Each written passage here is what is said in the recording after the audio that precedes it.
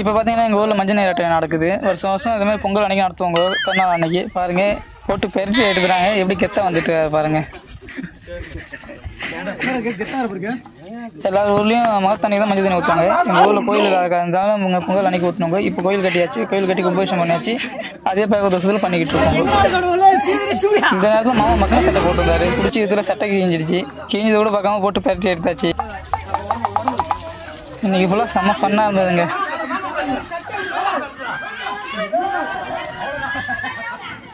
குளிச்சுட்டு வந்த மாமா திருப்பி நினச்சி மண்ணள்ளி வீசிட்டு போறாரு.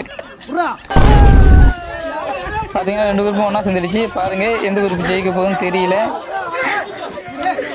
நான் எந்த குரூப்பும் லாஸ்ட்டில் ஜெயிக்கல.